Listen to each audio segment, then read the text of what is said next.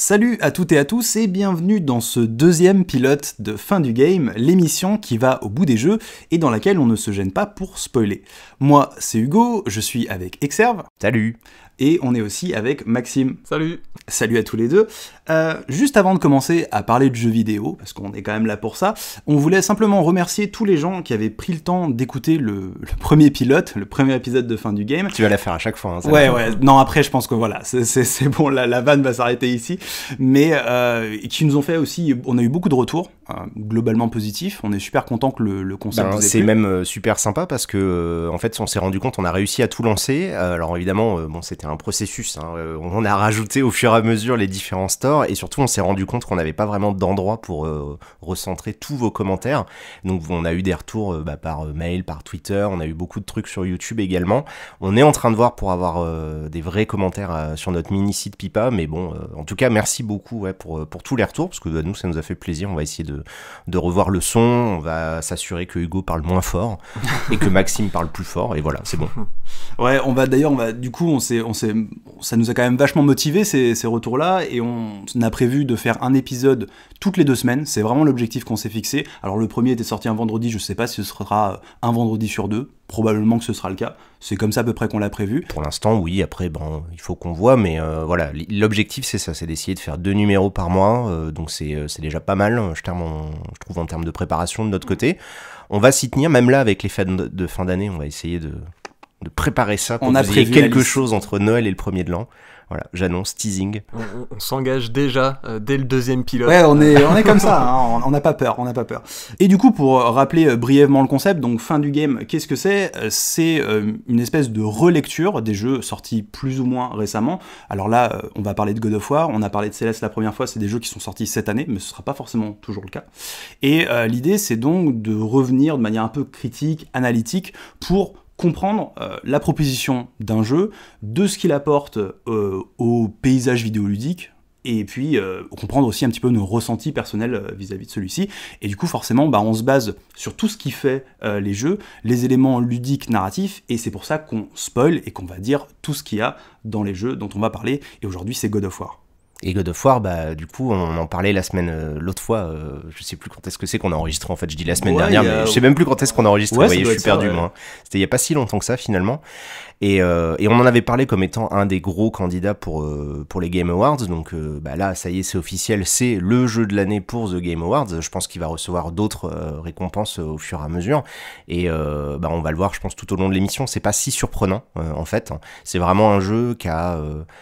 qui a, réussi à changer sa formule euh, avec des choses sur lesquelles on peut revenir. Mais ça va être de toute façon tout le but de l'émission de se dire bah, quelle est la nouvelle proposition de God of War, c'est quoi ce reboot et, euh, et pourquoi il y a des choses qui vont très très bien, qu'est-ce que nous nous a peut-être pas forcément plu à certains, euh, certains côtés. Et on va voir un peu tout ça, je pense. Exactement, God of War dans fin du game, c'est parti.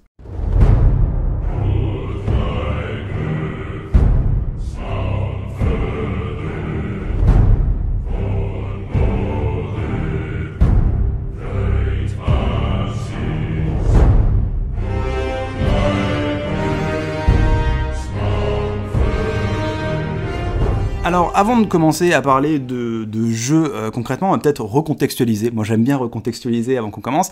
Et donc, God of War, c'est fait par Santa Monica. Santa Monica, qui est euh, un des studios qu'on dit euh, first party de chez Sony. Donc, c'est les studios qui appartiennent à Sony. Ils sont quelques-uns comme ça. Il y a Santa Monica, il y a Naughty Dog, Guerrilla, Sucker Punch. Bref, il y en a une grosse dizaine comme ça, je crois. Et ces studios-là, ils ont un rôle très important parce qu'ils sont là pour forger l'image un peu PlayStation. C'est eux qui vont être les fournisseurs des grosses exclus euh, de la PlayStation euh, 4. Euh, là, cette année, euh, en fait, ils sortent toujours un petit peu au même moment d'ailleurs. C'est euh, fin du premier trimestre de l'année. Là, cette année, c'était God of War. L'année d'avant, c'était Horizon. Encore avant, c'était Uncharted 4. Donc, euh, la machine est bien huilée euh, chez Sony. Et du coup, Santa Monica qui avait quand même une grosse pression parce que du coup, bah, faut continuer à vendre des PS4, même si elle est un peu en deuxième partie de vie, euh, c'est quand même des jeux qui ont le rôle de vendre la PlayStation 4. Et puis grosse pression aussi parce que bah, c'est God of War, c'est une licence qui a quand même une certaine cote de popularité. Et là, la volonté c'était de faire une sorte de reboot. Alors dans la continuité. Euh, je sais pas, c'était quoi ce qu'il a, c'est quoi l'expression qu'il a Euh, utilisée plus mot pour mot en anglais, mais c'est quelque chose du style euh, un dépaysement familier. si voilà, bien. dépaysement familier. Donc il y a vraiment cette intention-là de, de reprendre la licence, mais d'en faire quelque chose de neuf. Et euh, du coup, ça a été une grosse pression sur, son, sur le director du jeu, qui est Cory Barlog. Euh, on peut peut-être revenir un peu sur son parcours très brièvement, qui était lead animator sur le premier. Il me semble. Ouais, bah, il a bossé en fait sur tous les God of War euh, à part Ascension, euh, donc qui est le dernier épisode à être sorti sur euh, et il a il est monté en grade hein, en fait dans le dans Ouais. le studio euh, parce que de toute façon Santa Monica à part God of War ils avaient fait je crois un jeu qui s'appelait Kinetica il y a très très très très longtemps dont personne n'a jamais entendu parler donc eux c'est euh, God of War hein, c'est vraiment leur série à eux et euh, bah voilà il est monté petit à petit et il était donc euh, bah, réalisateur sur le God of War 2 Ouais. Euh, il était encore sur le début du 3 et en fait bah, le, le, le- le type il a cramé en- voilà il a explosé en plein vol euh, durant le développement de God of War 3 et il s'est pris une pause euh, en tout cas il a quitté Santa Monica pendant quelques temps. Il a continué de travailler sur des jeux vidéo mais euh, peut-être pas avec autant d'ambition parce que tu l'as dit le ce qu'il faut bien comprendre, c'est que les first parties de Sony, ils ont euh, donc le, c'est ce qu'on appelle, euh, tu vois, c'est les, les portes-étendards hein, de Sony. Donc ils doivent mettre en avant la ligne éditoriale de Sony, ils doivent être en avant les, les capacités techniques, les capacités ludiques, ils doivent vraiment défendre la marque PlayStation auprès des joueurs du monde entier. Et donc de base, un AAA, ça a une pression de malade, mais là, quand en plus derrière, t'as ton constructeur qui veut que ton jeu euh, porte en fait sa marque, ça, ça rajoute d'autant plus. Donc je pense que le type, après une dizaine d'années à faire du Kratos, eh ben, il, a, il a cramé, hein, et comme dit, il a explosé en plein vol. Et, euh, et il est revenu, en fait, pour ce nouveau God of War. Euh, bon, sachant qu'entre temps, il y a eu God of War Ascension, qui était un peu l'épisode de trop. Euh, C'était un peu ce qui était dit euh, à l'époque dans la presse, Mhm. qui était un épisode, bon, pas, il n'y Ah, a pas moi, grand chose à en retenir. Je n'y ai même pas joué, j'avais fait il y la avait une démo, espèce de mode multi, c'était, enfin c'était c'était super bizarre. On savait ouais. pas trop ce qu'ils voulaient faire avec ça. Je pense qu'ils étaient eux-mêmes un peu dans l'expectative. C'est vrai que quand tu perds, c'est en fait c'est ça qui est toujours un peu compliqué avec le jeu vidéo, c'est que tu te dis ces gros studios comme ça, ils ont des, personnalités extrêmement charismatiques, extrêmement fortes, qui portent vraiment des projets euh, à bout de bras. Et quand ils sont pas là, bah mine de rien, ça se sent un petit peu, tu vois. Donc, euh, je pense que Sony, avec le passage de la PlayStation 3 à la PlayStation 4, euh, ils avaient une nouvelle idée, une nouvelle éditoriale, ils avaient des nouvelles licences qui avaient démarré. Il y avait euh, The Last of Us qui avait vraiment bien porté le truc. Guerrilla a réussi sa transformation avec Horizon Zero Dawn, etc., etc. Et je pense que Santa Monica, eux aussi, ils avaient besoin d'un nouveau souffle. Et euh, moi, je serais très curieux de savoir les, conditions des négociations entre lui et entre Cory je vais dire Barlog ou Barlog, je vais Ouais. me tromper une fois sur deux, hein, je vous préviens. Cory Barlog. Barlog, Cory Barlog et euh, le studio Santa Monica, mais en tout cas, il a accepté de porter euh, ce nouveau projet euh, avec a priori la condition de faire un peu ce qu'il avait envie, quoi. Ouais, c'est ça, il est vraiment arrivé avec une vision personnelle. Bah, il est devenu père entre temps, et ça a un petit peu influencé, j'ai l'impression, ce qui se raconte dans, dans ce God of War. En tout cas, ça fait partie de son storytelling, hein, parce que Mhm, c'est vrai qu'il faut aussi après différencier. C'est-à-dire que c'est quelqu'un, euh, moi je trouve, sur toute la production du jeu et la communication du jeu, c'est quelqu'un qui s'est euh, montré comme un, un personnage extrêmement humain. Euh, tu vois, il s'est beaucoup mis en avant, il a été beaucoup mis en avant, et, euh, et je trouve que il, il représente bien en fait l'intention qu'il y a derrière God of War de montrer ce côté peut-être très fort, tout dans la maîtrise, mais aussi euh, conscient de ses faiblesses, tu vois, un peu fragile, etc. Et, euh, et c'était vraiment très particulier hein, de voir ça, euh, de te dire, tu vois, c'est d'habitude, on est plutôt dans la surenchère, c'est le jeu le plus exceptionnel de l'univers, et puis surtout c'est God of War. God of War, c'est la série euh, la plus épique de l'univers. euh, Enfin, en tout cas, ça fait partie des trucs les plus stupides. Je crois qu'à part Azura Azuraf, il n'y a pas grand chose qui a essayé d'aller plus loin dans le what the fuck euh, Ouais, badass épique scène, euh, de ouais. la mise en scène. Et donc, ils arrivent avec une proposition totalement différente. Et ce gars-là, en fait, ça a vraiment été le visage euh, et euh, vraiment le lui-même a été le, le porte-parole de son propre jeu. Quoi. C'était, euh, c'était assez particulier comme façon de faire. C'est vrai qu'on se souvient quand même tous un peu de la- à la sortie du jeu, il y avait une vidéo de lui en train de lire les reviews et qui pleurait en fait, euh, qui était euh, bah, très ému de tout ce qu'il avait pu lire dessus, peut-être un peu soulagé, je sais pas, c'est peut-être une interprétation de ma part, parce qu'on parlait quand même de la pression qu'il y avait derrière, euh, derrière ce Ouais, on imagine qu'il y a eu une bonne dose de crunch à la fin du sort Ouais. de la. Enfin, c'est un jeu en termes de polish qui est quand même euh, très très très très fort. On imagine que ça a dû bien cravacher quand même à la fin. Ouais, et puis surtout, il a pris un risque incroyable parce qu'il a réussi. En fait, ce qu'il faut s'imaginer, pour euh, se mettre deux secondes dans l'état d'esprit du mec, euh, il a réussi à convaincre un paquebot, euh, parce qu'il faut, faut, je sais pas si vous imaginez l'inertie dans une compagnie comme Sony ou dans un studio comme Santa Monica, quoi. Pour que quelqu'un arrive tout seul à pousser des centaines de personnes à le suivre, etc. Le type, il se retrouve avec une armée derrière lui et tout le monde lui fait confiance. Tout le monde était là, genre, bon bah ta vision, ça passe ou ça casse. Donc t'avais des types qui devaient attendre, tu vois, dans les coins de dans les coins de porte avec des épées pour lui faire un harakiri direct dès que, dès que le jeu allait pas marcher. À l'inverse, t'avais des gens qui étaient prêts à lui monter sur un piédestal. Donc le type, il a dû vraiment vivre quelque chose de très dur. Donc moi, je suis assez cynique, donc c'est vrai que j'ai quand même tendance à me dire qu'il y avait un petit peu de mise en scène dans cette petite vidéo avec une mmh. webcam dégueulasse, une absence de son. Tu te dis, le type, il est millionnaire, il a même pas une webcam chez lui. Enfin, c'est quand même un peu. Voilà, bon, personnellement, je trouve ça un petit peu euh, surprenant, mais le fait est que euh, ça représente bien et ça, c'était, euh, c'était dans la logique de la communication de Sony de dire, le type, il a tout porté à bout de bras et à la fin, le soulagement de, oh, le jeu, il marche, il cartonne et en plus, bon, bah, God of War, ça a été, ça a été une avalanche de bonnes notes. Je crois que mmh. si on n'avait pas eu Red Dead 2 cette année, il y aurait rien eu au-dessus en termes de, mmh. notation, hein, de toute façon. Effectivement. On va peut-être du coup passer vraiment au jeu. Euh, peut-être commencer par faire un bref résumé de l'histoire, parce que cette fois, bah, la narration a une grosse, grosse place dans ce God of War. Alors avant, il y avait des histoires dans God of War, mais c'était peut-être moins. C'était pas forcément ce qu'on retenait. Euh, du coup, euh, Maxime, je crois que c'est toi le dernier d'entre nous qui l'a fait. Oui. je crois que toi, comme moi, Exerm, on l'a fait à peu près à la sortie. Ouais, je l'avais récupéré à la sortie. Je l'avais fait à ce moment-là. Et toi, Maxime, bah, tu l'as fait récemment. Et du coup, bah, c'est toi qui vas avoir l'honneur de résumer l'histoire, comme c'est plus frais dans ta tête. Ouais, même si j'en fais une version quand même relativement courte. Hein, parce qu'il y a plein de points du scénario sur lesquels euh, nous on va pas euh, particulièrement s'attarder. Euh, donc en gros ça commence où on voit qu'on apprend que Kratos a un peu fondé une nouvelle vie, il a une nouvelle femme, il a un fils, et ça commence quand bah, ils incinèrent en fait le corps de, de Faye, donc la, la, femme de Kratos, l'ancienne femme de Kratos, donc lui et Atreus qui est donc son fils, et euh, la dernière requête en fait de Faye, c'était euh, de voir ses cendres être dispersées, euh, enfin d'avoir pardon ses cendres dispersées du sommet de la plus haute montagne. Donc ils vont partir un petit peu pour, pour cette aventure, ce qui va être l'occasion du coup de, bah, de nouer un petit peu des liens familiaux entre le père et le fils, des, des, liens qui étaient assez maigres. c'est moins, c'est moins qu'on puisse dire parce que Kratos il, incarne quand même cette image ultra paternaliste, pardon, très masculine. On aura l'occasion probablement d'y revenir.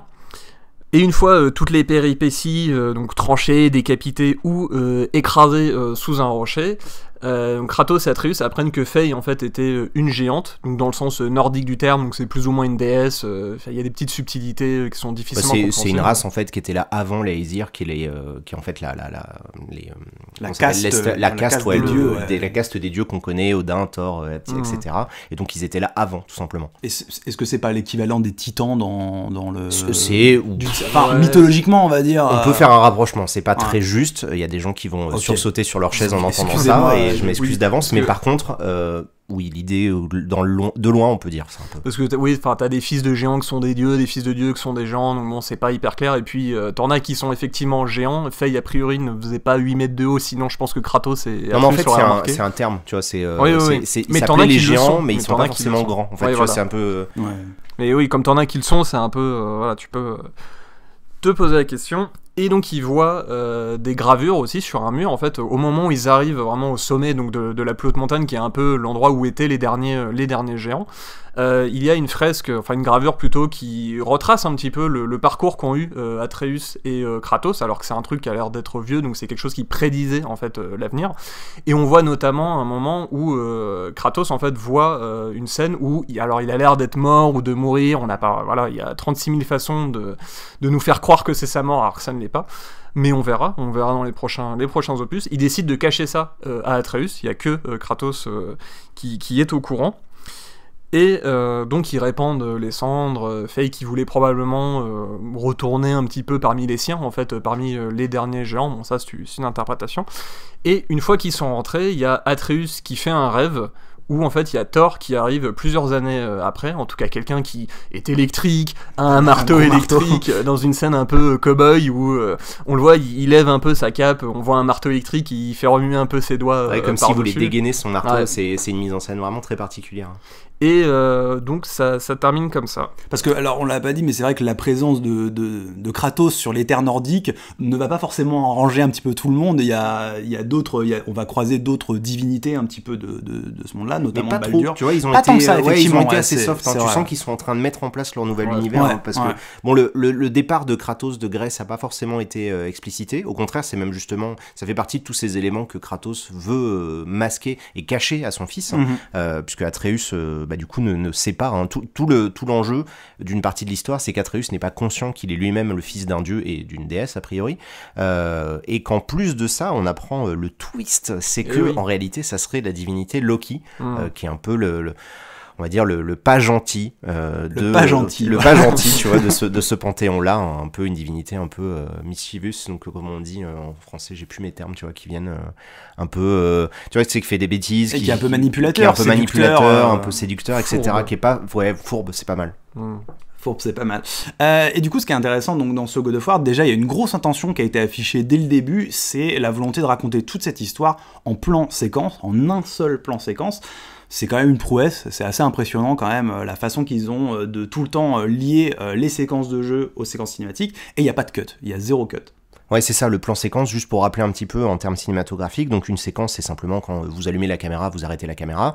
Et en fait, la différence avec un plan séquence, c'est que tu vas pouvoir changer d'angle, etc. Mais il y aura jamais un moment où effectivement l'image va être coupée. Parce que du coup, des fois, on le sent pas. Même juste une ouverture de porte, on peut faire un, montage ou un cut au cinéma. Là, tout est fait avec caméra à l'arrière et ça dure pendant ben, l'intégralité du jeu. Et ça, euh, bah, c'est ça, bon, ça révèle énormément de choses, on va en parler. Mais euh, ouais, déjà, en fait, même en termes de prouesse technique pour un jeu vidéo, c'est déjà extrêmement compliqué parce que du coup, eux-mêmes se sont mis des gros bâtons dans les roues euh, parce qu'il aurait été beaucoup plus simple des fois de mettre un pauvre écran de chargement ou un petit fondu au noir sur certaines choses, mais ils l'ont pas fait. Et puis même, même sur la motion capture, ça leur a posé des problèmes parce que justement, bah, le mouvement ne se coupe que par les, euh, les séquences de, de gameplay, donc ça a été très dur pour eux de tout mettre en place en fait. Euh, ils ont mis, je pense qu'ils ont passé beaucoup de temps à d'abord tout imaginer avant de pouvoir vraiment re- rentrer en phase de production et euh, pouvoir arriver à mettre ça en place. Quoi. Ouais, parce qu'en plus, c'est pas un truc que tu peux te dire au milieu du développement et tu dis, hé les gars, au fait, euh, tu vois, c'est pas comme Red Dead 2 où ils se sont dit, oh, on va rajouter des bandes Mmh, noires et bon, ça a rajouté ça. 6 mois de boulot. Là, c'est un truc, si tu l'anticipes pas dès la pré-production, que ça va être, enfin, ça va être un merdier total. Donc, ils ont, c'est quelque chose qu'ils ont, c'est vraiment une intention euh, de, de Barlog à ce niveau-là, ça c'est évident. En plus, c'est quelque chose dont il a parlé comme étant quelque chose d'assez compliqué euh, à vendre, parce qu'il a dû les convaincre. Et c'est pour ça, je pense, c'est ce que je disais tout à l'heure, on n'imagine pas, à mon avis, la liste des choses qu'il a dû leur faire avaler euh, pour pouvoir amener son projet là où il avait envie d'y être. Euh, et donc, bah, le plan séquence, ce qui est intéressant, c'est que ça permet en fait au cinéma de lier le spectateur avec la temporalité de ce qui se passe à l'écran. Donc en gros, quand toi tu vas suivre une scène, euh, bah, je sais pas moi, dans, les films d'action, les films de combat, etc. Moi, euh, j'avais une, une séquence euh, qui m'avait beaucoup marqué dans Children of Men où il y a beaucoup de plans séquences, qui est une scène un peu de guerre, un peu euh, où t'as la caméra au niveau du sol qui suit le personnage. Et bah toi en fait, tu vas vivre les, les choses dans le même temps, hein, euh, une seconde et une seconde, etc. Et du coup, bah, c'est quelque chose qui permet de renforcer l'immersion. Et dans un jeu vidéo, c'est très osé parce que euh, ça dure une vingtaine d'heures. Tu vois, c'est pas un plan séquence de 5-10 minutes qui est déjà une prouesse pour des acteurs euh, dans la vraie vie. Là, c'est un plan séquence de 20 heures. Ouais, on voit que Cory euh, Barlog, j'ai failli dire Balrog encore, euh, avait vraiment en fait une, une volonté bah, narrative, en fait, en tout cas de narration, où vraiment pour lui God of War c'est pas euh, que un reboot et tout, c'est une volonté de raconter l'histoire de Kratos et d'Atreus, de, bah, comme on disait, ce, lien en fait entre père et fils qui, qui se noue, et le plan séquence pour lui c'était vraiment le moyen en fait de, de, de voir un petit peu l'aventure par leurs yeux, en tout cas de se rapprocher d'eux, puisque en plus la caméra est aussi très res- resserrée, en tout cas par rapport aux anciens God of War, et là aussi ça sert vraiment une, euh, certaine volonté de sa part. Ouais, il y a une espèce de. C'est vraiment un voyage initiatique, on va dire, enfin en, ter- en termes de, structure, il y a un peu ce côté à la fois voyage initiatique, mais aussi un peu road, road movie, on en avait parlé un petit peu comme ça ensemble. Et euh, c'est vrai que bah, ce plan séquence, d'être vraiment en intimité avec ces deux personnages et d'être aussi près d'eux, et surtout bah, toujours dans la même temporalité avec eux, euh, ça donne vraiment cette, bah, une sensation qui est assez unique en fait, d'avoir parcouru tout ce qu'ils vont euh, parcourir. C'est peut-être même un peu trop, parce que le jeu, on le fait pas nous en une fois, on le fait en, en plusieurs fois. Et euh, c'est vrai que c'est un peu même un peu déstabilisant de se dire que tout ce qu'ils ont fait, ils l'ont fait simplement en 24 heures euh, chrono euh, en plan séquence. C'est un petit peu presque trop, je trouve. Parce que même si ça, le, côté de la caméra serrée, elle permet d'offrir quelques moments cool d'immersion, notamment en jouant sur le hors-champ. En fait, il y a quelques scènes qui marchent plutôt bien. Je pense juste à une fois où. Et en plus, c'est assez bien amené, même en termes de, de, de gameplay, fait, il y a une scène où on lance notre hache sur des ennemis en fait qui nous balancent des trucs. Et quand on tue le dernier, il y a un ennemi qui surgit en fait fait hors champ qui était à côté de nous et ça, ça passe complètement en cinématique. Donc t'as des petites mises en scène comme ça qui marchent, euh, qui marchent super bien, mais effectivement, comme dit Hugo, sur la durée, c'est peut-être un petit peu plus, euh, plus compliqué. Bah oui, c'est l'avantage en fait d'avoir la caméra au niveau de l'épaule. Le- La, la third person, c'est ça, c'est que c'est génial, c'est que c'est vraiment des intentions de cinématographe, de, de réalisateur, de vraiment euh, d'un type qui a envie de raconter une histoire. On est vraiment dans une dans une dans une volonté de raconter quelque chose. Et donc forcément, quand à la caméra euh, avec l'angle qui va être du coup derrière Kratos, tu as finalement son champ de vision. C'est un peu ça l'idée. Et, euh, et d'ailleurs, bah, c'est quelque chose qui est exploité en permanence avec le fait qu'Atreus l'accompagne. hein. Ça, on aura l'occasion de- d'en reparler. Mais euh, mais ce que je voulais dire, c'est que euh, c'est vraiment très particulier comme intention parce qu'effectivement, ils ont dû très vite se rendre compte que le jeu allait être plus long que n'importe quelle session de jeu. Alors que moi, je serais très curieux de voir en fait, euh, tu vois, ça me donnerait presque envie de me dire, est-ce que je pourrais arriver à faire le jeu en une seule session, tu vois, limite en skippant plein de trucs, en évitant les zones optionnelles, pour me rendre compte de, de vraiment le euh, cette espèce d'immense tunnel Mmh. euh, parce que bon effectivement euh, tu le disais tu vois ça sera en 24 heures les mecs il leur arrivait une tonne d'aventures. Bon ça reste des dieux donc c'est pas grave tu vois au niveau au niveau cohérence ça reste un peu euh, tu peux le comprendre. Mais moi je serais vraiment curieux en fait d'essayer de le faire le voyage avec eux tu vois en une seule fois pour voir un peu à quoi ça pourrait ressembler.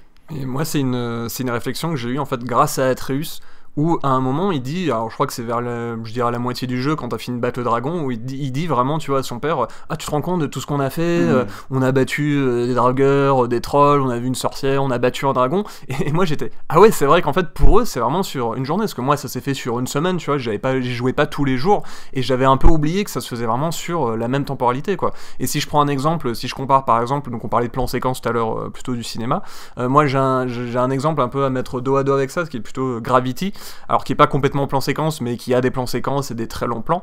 Et là pour le coup, euh, moi je me souviens à la fin du film où j'avais vraiment l'impression en fait d'avoir accompagné quelqu'un et de me dire ouais ok j'ai vraiment vécu en fait une aventure euh, du point A au, point euh, Z quoi en passant par toutes les autres lettres. Et, là à la fin de God of War, bah pas vraiment, tu vois, il a, fallu qu'Atreus me dise ah on est passé par le point B, par le point C. Et, ah oui, et je me suis dit ah oui c'est vrai que c'est la même journée quoi.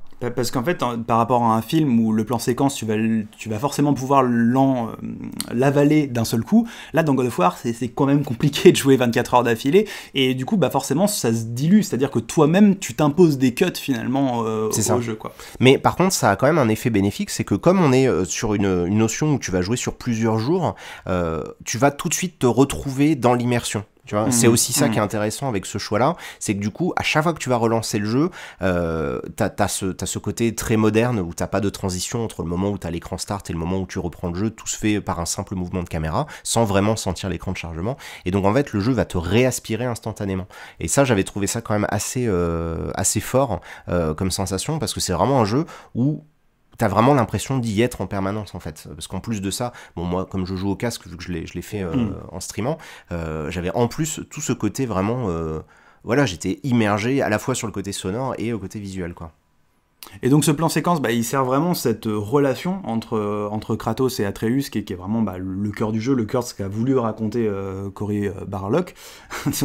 on va tous... euh, on va l'appeler Cory on va l'appeler juste Cory. Ah, voilà mon va cher Cory on t'appelle Coco ou Cory Et donc ils ont, ils ont vraiment un arc, c'est vraiment l'arc narratif du jeu, c'est cette relation, et qui va passer donc de Kratos qui est très très froid vis-à-vis de son fils, on a même l'impression que finalement il n'a pas été très présent, qu'il est un peu là, qui redébarque un petit peu à ce moment-là parce que la mère elle est morte et que il doit gérer son, son, pilon quoi, et, euh, et après finalement tout ce qui va leur arriver va les rapprocher.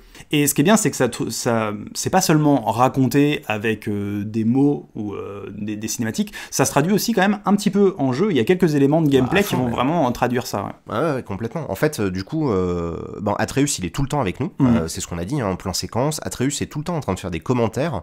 Je pense qu'on en, on en reparlera, ou je peux le dire maintenant. Lui, en fait, moi, je trouvais qu'il avait un rôle un peu méta, parce que, comme l'a dit Maxime tout à l'heure, tu vois, il fait des commentaires sur ce qu'ils font. Euh, lui, en fait, c'est le Enfin, Atreus, il a vraiment ce rôle euh, dans leur relation de euh, faire remarquer les choses, tu vois, de, de parler de ce qu'ils font à Kratos et d'essayer de faire réagir Kratos. Parce que ce qui est vraiment rigolo, c'est que, comme tu le disais, au tout début, Kratos, il parle pas. Tu vois, c'est le mec qui dit broy toutes les deux secondes, donc euh, il, a, il, a, il a pas vraiment envie de parler. Et puis surtout, c'est pas un personnage qu'on avait l'habitude euh, de voir parler. Enfin, Kratos, c'est un personnage de jeu vidéo euh, du siècle dernier, en fait, tu vois, quasiment. ouais. C'est un gros gars, il est chauve, il est musclé, il tue tout. Euh, T'appuies sur des boutons pour faire des coups de rein euh, sur des nanas euh, dans des scènes un peu cachées. Et ensuite, tu vas tuer 15 dieux euh, sur des scènes où tu vas monter sur une montagne, tu vas tomber dans les enfers et remonter dans le ciel. Enfin, voilà. Il fait ça tout bien. Et là, maintenant, il se retrouve avec un gamin. Et, euh, et c'est vrai que du coup, déjà de base, t'as as un décalage assez humoristique, euh, parce que tu Ouais. te retrouves avec un personnage, tu dis ah ouais, Kratos, il peut aussi avoir des enfants. Donc déjà, c'est un premier choc. Et le fait qu'il t'accompagne en permanence et qu'il commente en permanence, c'est rigolo parce que tu vas ressentir l'agacement de Kratos très rapidement, très vite. Ça va l'énerver. Et même toi, parce qu'au bout d'un moment, t'es là genre mais tais-toi, tu vois, genre Atreus est tout le temps en train de parler, il est tout le temps en train de faire des commentaires sur ce qui se passe. Oh, t'as vu ça, il se passe ci, il se passe ça. Et en fait, ce qui est génial, c'est que ils, euh, ils mettent ça en place pour t'expliquer que Atreus sert le gameplay. Parce qu'en fait, comme toi, tu as un champ de vision qui est complètement limité par Kratos, qui c'est qui va t'aider pour savoir ce qui se passe là où tu ne regardes pas? C'est Atreus. Et Atreus, en fait, il est là en permanence pour te dire attention, derrière toi, à gauche, à droite, etc. Et il est tout le temps en train de te rappeler à l'ordre et de te de t'aider. Et plus, et ce qui moi, ce que j'ai trouvé intéressant euh, dans, dans cette relation-là, c'est que, en fait, il force le joueur à accepter la présence d'Atreus et à même la, tu vois, le, se dire ah putain, heureusement qu'il était là. Et donc en fait, tout comme Kratos va devoir accepter la présence de son fils et un peu apprendre à lui parler, le joueur doit apprendre à accepter et à utiliser Atreus de manière fine parce qu'en fait, il est vraiment là pour te pour t'aider. Et à côté de ça, il a aussi sa personnalité et qui est euh, notamment euh, exprimée en fait par le gameplay. Enfin, moi, je me souviens vraiment de, de deux moments. euh, Il y, a, donc le premier moment où il tue un homme en fait pour la première fois et, et tu dois faire une espèce de petite boucle de gameplay. où, En fait, tu dois envoyer Atreus à un endroit que, auquel toi tu, tu ne peux pas accéder pour qu'il te fasse tomber une chaîne ou un truc comme ça. Et euh, tu dois vraiment le rappeler à l'ordre, genre 3 4 fois, parce qu'en fait il est sous le choc, tu vois, il vient de tuer une personne. Kratos en mode, euh, en mode Kratos, il lui a dit euh, ferme ton cœur, ferme tes émotions euh, à ça, tu vois. euh, c'est- Et, et voilà, pour, pour Kratos c'est bon, il lui a donné sa petite leçon, c'est fini. Mais tu te rends compte après, quand même, juste après, il est encore euh, choqué. Tu dois lui dire, euh, bah boy, tu vois. Parce qu'en truc fait, il y a un bouton qui est euh, attribué même à, à Pour Atreus en ouais. fait euh, pour toutes les actions. Alors quand c'est en combat, c'est le tirer même dans tout le jeu. C'est le même dans tout le jeu, c'est carré, il me semble d'ailleurs, je crois. Ouais. Et euh, en fait, euh, à ce moment-là, en fait, quand tu lui donnes un ordre, faut que tu appuies sur le bouton. Et là, tu vas devoir appuyer plusieurs fois sur le bouton parce qu'il va pas aller directement faire l'ordre bêtement. Euh, il va attendre un petit peu, il va faire un petit peu, il va en faire un peu qu'à sa tête ou il va rester dans ses pensées à cause de ce Mhm. moment-là. Quoi. Donc il n'est pas là que pour te servir, il a quand même un petit peu ses, ses émotions et t'es obligé en fait de, de, de, de t'en rendre compte en tant que joueur parce que sinon bah, l'aventure euh, n'avance plus. Et t'as un autre moment sinon euh, où bah, là il se sent plus trop pissé, euh, où euh, C'est quand il apprend qu'il est un dieu. Ouais, il ouais. apprend que, que Kratos est un dieu et que du coup lui aussi c'est c'est une divinité et euh, il prend vraiment, enfin vraiment Ah, il la prend la confiance en lui. et et, euh, et, alors ça, il y, a- il y a des petits moments, enfin bon pas subtils, mais euh, il y, a, il y a des moments qui changent un petit peu où euh, quand il faut, euh, quand on lui demande de tirer des flèches donc pour ouvrir certains trucs, il fait des petits eh, whatever, tu vois, il s'en fout un peu, enfin il fait un peu sa crise d'ado, on a l'impression.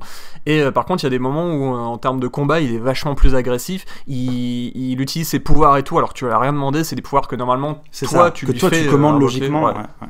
Et du coup, bah, en gameplay, en fait, on, on comprend un petit peu l'humeur euh, d'Atreus. euh, alors, pas tout au long du jeu, mais il y a des petits moments qui étaient suffisamment intéressants pour être, pour être notés. Quoi. Moi, ça me fait penser un peu à The Last Guardian, euh, du- d'une certaine façon, parce que tu avais vraiment cette relation avec Trico qui ne t'obéissait pas tout le temps, qui était vraiment un petit peu, c'était limite un peu trop aléatoire, et au fur et à mesure du jeu, il va de plus en plus être euh, répondre à tes appels. Et là, c'est vrai que je sais pas, bon, c'est aussi un studio first party, enfin, c'est vraiment aussi une exclu Sony. Est-ce qu'il y a une inspiration un petit peu de prendre cette mécanique de ne plus pouvoir donner des ordres, tu vois, euh, pour euh, pour transmettre cette émotion Ça fonctionne bien, tu vois, ça fonctionne super bien. Et euh, Bah, je, pense si que l'intention qui s'est posée, c'est. Alors, je pense, il y a du The Last Guardian et j'y avais pas pensé, mais c'est très, très pertinent de dire ça. Et t'as aussi du The Last of Us, Ouais, en fait. Parce fait, que t'as ouais. les deux. Mm. Et parce que t'as la relation entre Joel et Ellie, mais Ellie, en fait, tu la contrôles pas. Non, ouais. Et, et c'est ça qui est rigolo, c'est que The Last of Us, Naughty Dog, ils ont essayé de faire une relation euh, où toi tu joues un personnage, mais l'autre tu n'as aucun contrôle dessus. Et là, eux, God of War, ce qu'ils ont fait, c'est que tu joues le père d'un gamin. Donc en fait, tu peux lui donner des ordres. Mm.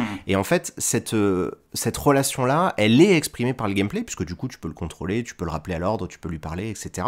Et donc, en fait, ils arrivent. J'arrête pas de dire. Donc, en fait, ça va pas du tout, ça. Donc, je vais essayer de faire attention.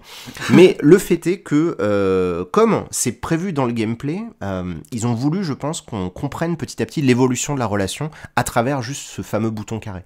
Et, euh, et cette scène-là où il commence à faire sa crise d'adolescence, c'est vraiment le moment où tu te rends compte que c'est un vrai personnage. Ouais. C'est pas juste un faire-valoir qui était juste là pour quoi que ce soit. Et en fait, ce qui est rigolo, c'est que il, euh, il, de- il s'affirme. Tu vois, il brise l'armure, il est chiant, il est vraiment relou pendant une Ouais, heure il ou deux. il est vraiment plus, désagréable, parce qu'il fait n'importe quoi, il Ouais. t'écoute pas, etc.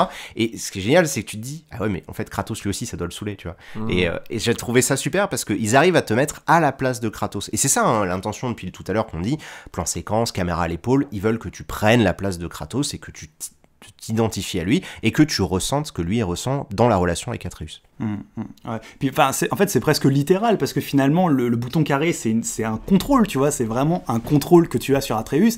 Et en te l'enlevant, bah, il, lui enlève un petit peu cette cache qu'il a. Et du coup, bah, ça prend, en fait, ça prend toute sa saveur vraiment manette en main, quoi. C'est vraiment, tu comprends vraiment ce qui est en train de se passer dans la tête d'Atreus parce que tu n'as, tu peux plus appuyer sur ce bouton carré et il fait plus ce que tu lui dis avec ce bouton, quoi. Exactement, c'est le genre de choses que tu ne peux pas ressentir dans un autre média parce que du coup, tu avais l'habitude que quand tu appuies sur un truc, il se passe quelque chose, on t'a habitué pendant des heures à faire ça, et Ouais, là, pouf, on s'amuse à te l'enlever. Et ça, c'est bon, c'est quelque chose d'assez courant dans du jeu vidéo de t'enlever le contrôle. Tu peux plus courir, tu peux plus sauter ou quoi que ce soit, de t'enlever les pouvoirs. Mais là, comme c'est lié à la relation entre Atreus et que ça permet de mettre en avant son changement de personnalité, ça fonctionne à fond, quoi. Et ce qui fonctionne assez bien aussi dans le jeu, c'est pas seulement le changement d'Atreus, t'as aussi le changement de Kratos en fait vis-à-vis euh, d'Atreus qui a une vraie euh, qui a une vraie évolution en fait. Et le, le moment où, où tout démarre, c'est quand euh, bah, Atreus, bon, on, disait il apprend que c'est une divinité, mais la raison pour laquelle il apprend, c'est parce que Kratos doit lui dire, parce que avant ça en fait, euh, donc Atreus ne sait pas, il croit qu'il est humain, et il y a une espèce de dissonance cognitive un peu qui se crée en lui où bah, l'esprit euh, croit qu'il est humain, mais le corps est divin, donc apparemment ça, ça crée des maladies, donc faites attention chez vous. Euh, dites à vos enfants que ce sont Qui des, dieux. et euh, et, euh, donc, euh, il y a une scène assez cool en fait où Kratos revient à la maison.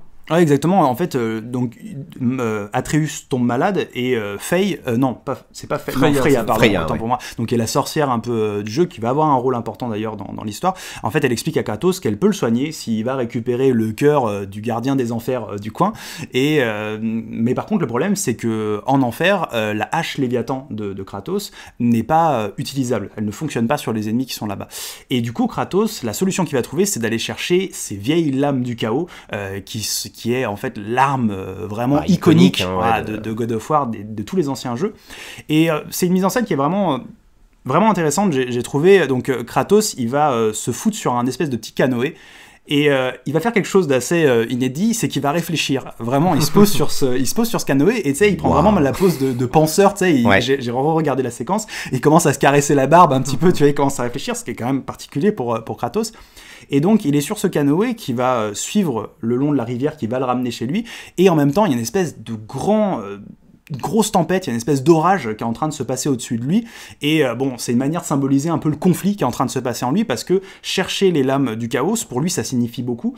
Euh, parce que les lames du chaos, c'est le symbole en fait de l'asservissement euh, au dieu de Kratos. C'est-à-dire, c'était les lames qui lui donnaient tout son pouvoir avant. Alors, c'est pas ce qui lui donnait tout son pouvoir, mais en tout cas tout ce qui lui permettait de l'exprimer. Mais elles sont accrochées à des chaînes, et c'était ces chaînes en fait qui l'asservissaient au dieu. Et ce qui est super intéressant, c'est qu'il va, il va aller déterrer ça, c'est quelque chose qu'il avait fui, et il va aller le déterrer, il va aller chercher tout son passé de monstre, tu vois, sanguinaire, violent, et cette fois, il va pas le mettre au service des dieux. D'ailleurs, il y a le fantôme d'Athéna qui apparaît, euh, qui lui dit, euh, ouais, euh, tu seras toujours un monstre, tu peux pas être un père, et là, il lui répond, il dit, ouais, mais je suis un monstre, mais je suis plus votre monstre, tu vois. Mhm. Et du coup, là, il va aller déterrer toute cette violence, euh, ce passé-là, et mais il va s'en servir pour aller sauver son fils, en fait. Et c'est vraiment un moment pivot pour, euh, pour lui, euh, pour le personnage de, de Kratos. Quoi. Bah, on, on comprend en fait à ce moment euh, la relation qu'il a avec son passé et Mm. pourquoi il, il le cachait en fait, euh, puisque bah, comme tu disais, Athéna le qualifie de monstre. En fait, pour lui, son passé, c'est ce qui faisait de lui un monstre. C'est ce qu'il a complètement laissé derrière lui. Il veut plus être ça. C'est pour ça qu'il a rien dit à Atreus, parce qu'il veut pas montrer à Atreus en fait ce qu'il était. Euh, et on, en, on en reviendra plus tard sur des petits détails aussi qui, qui montrent la relation de, de- de Kratos. euh, à, à son passé. Et euh, et il y a un petit peu cette phase, euh, alors comme dans un autre jeu dont vous avez peut-être entendu parler, un petit peu d'acceptation de soi au final. C'est un Bah peu oui, comme en plus, il final. grimper une montagne. Non, mais attendez, on avait tout prévu, on est d'accord. Hein. Ouais, c'est vrai, on peut faire un rapprochement un peu céleste euh, God of War. En tout cas, Kratos doit accepter euh, son passé et euh, comme tu disais, bah, le mettre cette fois-ci au service euh, de son fils. euh, et il doit, et il doit donc non seulement s'accepter, mais en plus se montrer en fait à son fils. Mm. Et l'autre épreuve sera que son fils l'accepte en fait euh, lui aussi. Bah, il prend vraiment ses responsabilités en fait en, en prenant euh, ses lames, il assume tout ce qu'il est, il reprend cette partie, mais cette fois il la met au service bah, pour, pour sauver son fils quoi. Et euh, ce, qui est, ce que je trouve vraiment intéressant dans ce passage là, c'est que bah, c'est une nouvelle arme dans un beat all en fait. C'est la deuxième arme du jeu, déjà c'est une vraie surprise, je sais pas comment vous l'avez ressenti Mhm. vous, mais moi à ce moment-là du jeu, au bout de 10 heures avec la hache Léviathan, je me suis dit ok ça va être la seule arme quoi. Et là, se dire que tu vas chercher une nouvelle arme, déjà c'est une vraie surprise, ça donne un bon coup de fouet à la boucle de gameplay quand même, parce que au bout de 10 heures, elle commence à en avoir bien besoin de redynamiser un petit peu tout ça.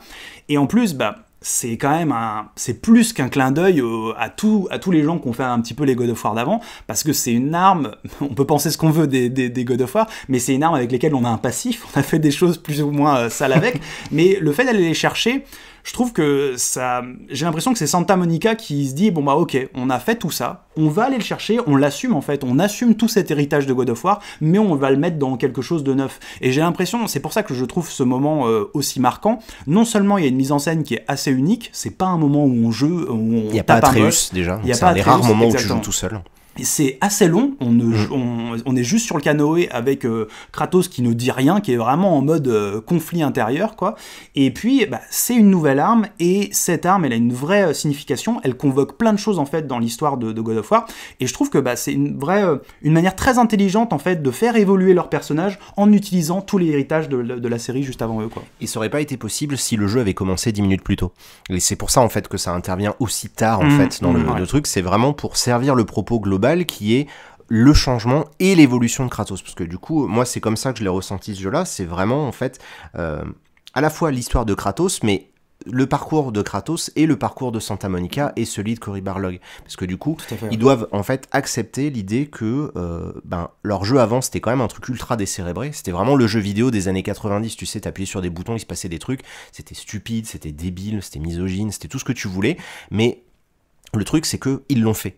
Et ils doivent vivre avec ce Ouais, passé-là. Ils ont pas le choix, ouais. tu vois. Et je veux dire, c'est comme les mecs d'Horizon, ils avaient fait guérir, ils avaient fait euh, comment ça s'appelait Killzone. Putain, bref, Ouais. tous les gens qui ont fait des jeux comme ça un peu débiles, ils ont le droit à une deuxième chance. Tu vois, C'est- on va pas leur, on va pas les punir ni quoi que ce soit. Et tu sens en fait l'espèce de conflit du studio et, et du réalisateur de se dire, ben, comme tu le dis, on accepte les lames. On le fait, voilà, parce que du coup, t'as des passages hein, euh, tout au long du jeu, dès qu'il va croiser un vase, euh, tu vois, grec qui traîne quelque part dans un trésor, il va le pousser, il va le cacher pour s'assurer qu'Atreus ne le reconnaisse pas, parce que forcément, ouais. mon Kratos, c'est un type chauve avec une énorme euh, dia- diagonale rouge, tu vois, sur le visage, et il est représenté exactement comme ça, euh, de manière symbolique. Et d'ailleurs, ce qui est cool dans ces petites scènes, c'est qu'il y a la musique en fait qui revient, qui est la musique un peu officielle, mais avec des chœurs cette fois. Et j'ai l'impression que quand, quand il y a ce côté un peu les démons euh, du passé, cette musique vraiment ressurgit. Il y a cette musique qui se joue tout le temps euh, quand il récupère ses lames. Et euh, j'ai remarqué aussi quand, quand, il, quand il voit le vase et qu'il le, le pète, t'as aussi vraiment cette musique qui revient. Donc euh, le, le jeu a vraiment conscience, tu vois, de, de ça. Mm. Mais c'est ça en fait, c'est son passé. Hein, Ouais, c'est il, a, il a pas le choix, il faut qu'il vive avec. Tu vois, t'as l'impression. euh, je trouve ça génial parce que l'ellipse en fait qu'on a entre la fin de God of War 3 et le début de God of War 2018, c'est finalement le départ de Cory. Tu vois, il est pas là, il est Ouais. pas là dans le studio, donc on sait pas ce qui se passe. Et lui, il le raconte pas. Il le raconte pas dans le jeu, mais il le raconte pas non plus. Tu vois, de, de manière. euh, On commence le jeu et boum. Kratos a fui, Kratos a fui son passé, il a changé de pays, euh, il a changé de vie, il se fait même plus appeler Kratos d'ailleurs, tu vois, limite, enfin, on sait pas trop comment il se fait appeler, mais en tout cas, t'as l'impression qu'il a changé de carte d'identité, tu sais, euh, façon euh, espion euh, dans James Ouais. Bond, quoi. Et, et du coup, bah, le studio, lui aussi, pendant des années, on n'avait plus de nouvelles, et là, ils reviennent, et etc. Et ça, je trouve ça super d'avoir ce rapport-là, en fait, dans l'évolution du studio, qui est le même que l'évolution de leur personnage, parce que le studio et ils sont leurs personnages en fait. hein. comme ils n'ont jamais rien fait d'autre, Mm. ils avaient, ils ont jamais rien montré d'autre au monde que ce côté bestial, vulgaire, grossier, euh, barbare, tu vois, de God of War jusqu'à présent. Et là, ils ont réussi à montrer autre chose. Bah, ils se réconcilient avec eux-mêmes pour en faire autre chose. Et Ouais, euh, vraiment, c'est bah, le, le reboot dans la continuité. quoi. Mais c'est vraiment intelligent, je trouve, de, de s'approprier tous ces éléments-là et d'en faire quelque chose de, de neuf. Euh, Ça montre quand même que, euh, au-delà de ça, au-delà du, du- du- du côté combat et compagnie, c'est c'est des gens qui ont vraiment pensé leur licence et euh, qui ont envie d'en faire quelque chose qui va s'inscrire dans quelque chose de beaucoup plus moderne, en fait. Et ils ont pas seulement euh, repensé l'histoire euh, pour le reboot, ils ont aussi quand même euh, amené tout un nouveau lot euh, de mécaniques, enfin Ouais. des, des nouvelles mécaniques de, de gameplay. Et là, euh, la question c'est est-ce que euh, ces nouvelles mécaniques vont bien avec euh, l'histoire qu'ils ont voulu raconter, surtout la façon dont ils ont voulu la raconter? Ouais. Euh, là, on est peut-être un poil plus nuancé. Bah ouais, bon, moi à titre personnel, c'est vrai que j'ai beaucoup râlé. Hein. Plein de gens qui ont, considéré que j'avais détesté le jeu parce que comme ils ont vu mes réactions en temps réel, euh, bah forcément t'as des réactions à chaud et tu peux t'énerver. Le fait est que malgré tout, euh, tu vois, tout ce qu'on a, pu dire là sur le côté histoire, moi ça m'avait vraiment marqué parce que je me suis dit, c'est quand même incroyable de voir un studio de cette ampleur-là euh, reconnaître de manière indirecte, hein, mais de reconnaître quand même leurs erreurs et d'essayer d'aller vers l'avant. Et bon, en termes de, jeu, euh, ils ont quand même fait un tas de trucs qui fonctionnent très très bien, deux trois trucs sur lesquels je pense on n'est pas trop euh, on n'est pas trop motivé. Mais la première chose, je pense qu'on peut euh, dire, c'est que le fait que ça soit un jeu qui était pensé comme un plan séquence et qui est quand même à côté autant de menus, je pense que tu vois, c'est un peu un truc où, dans lequel tu sens que le studio était un peu tiraillé sur ce qu'il voulait faire. Bah, concrètement, euh, est-ce que le jeu est tout le temps en plan séquence? Non, puisque euh, tu passes, je pense littéralement des heures au final dans les menus. Je pense que tu passes au moins une ou deux heures euh, dans les menus, et ça, c'est, enfin, tu peux le voir comme des cuts hein, techniquement. Bien sûr. Ouais, ouais, ouais. Non, mais c'est pour ça. En fait, moi, quand j'ai, commencé à écrire tout ce qu'on voulait dire là pour, pour cet épisode, je me suis dit, est-ce que finalement, est-ce que lui, dans sa tête, Corey, est-ce qu'il s'était pas dit, on aurait pu faire un jeu sans interface? Vraiment, tu vois, est-ce qu'il aurait pas voulu aller au bout du bout du bout du délire de se dire c'est un plan séquence, ça dure 15 heures, il euh, n'y a pas de menu, il n'y a pas de craft, il n'y a pas d'objet légendaire, il n'y a rien du tout. C'est Kratos, son fils, la relation, go, tu vois. Et euh, moi j'aurais, en fait, je me dis, putain, j'aurais adoré ce jeu-là.